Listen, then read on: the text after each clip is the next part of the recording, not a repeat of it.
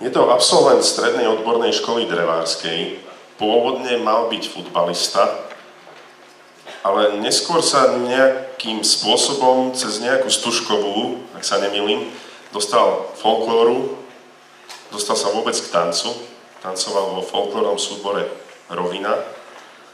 A dnes mám tu čest, že na tomto pódiu spolu so svojimi druhmi môžem privítať Patrika Frenu, ktorý je profesionálnym členom folklórneho súboru alebo umeleckého telesa SLUK.